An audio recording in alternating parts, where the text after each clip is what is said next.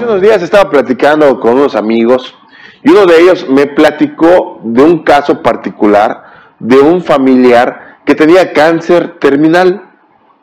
El tiempo pasó, dejé de ver a mi compañero y de pronto me dice que su familiar se había curado, ya no tenía cáncer.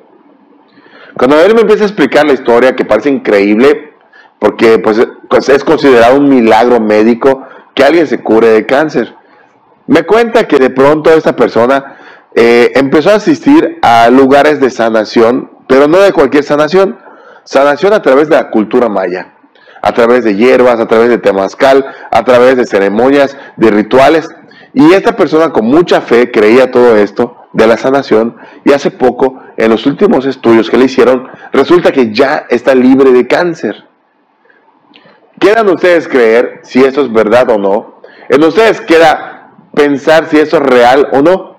Pero lo importante es darte cuenta que cuando uno tiene mucha fe en algo que sabe que va a funcionar, pues ahí queda, ¿no? Tal vez ya estaba destinado a esto, tal vez no, no lo sabemos, tal vez nunca lo vamos a saber.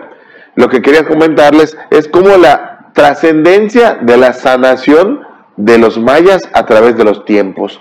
Recuerden que ellos bajaban a los cenotes a curarse, a curar a la gente de su pueblo que había quedado enferma por alguna situación. Ellos bajaban a los cenotes, que eran lugares sagrados, y ahí hacían sanaciones por medio de hierbas y algunos rituales. Y es por eso que esta persona que creyó mucho en estos rituales, el día de hoy fue declarada sin cáncer.